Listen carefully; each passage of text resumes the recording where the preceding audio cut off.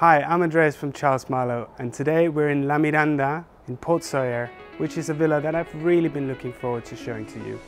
This old townhouse has been completely refurbished into a modern masterpiece of a luxury villa, a designer's dream where every little thing has been carefully handpicked. The villa itself has five bedrooms, all with ensuite and all with sea views. And in the heart of the villa, you have a lovely plunge pool which has enough space for all the kids to splash around and right next to it the adults can sit and overview the sea with a drink in their hand. Because really, La Miranda is all about the views. On one side, you see the sun come up in the morning here by the port and you have in two minutes walking distance all the bars and restaurants and everything. And on the other side, you have the bare cliffs, the dramatic sea and the sunsets. So without further ado, I think that we should go and take a look.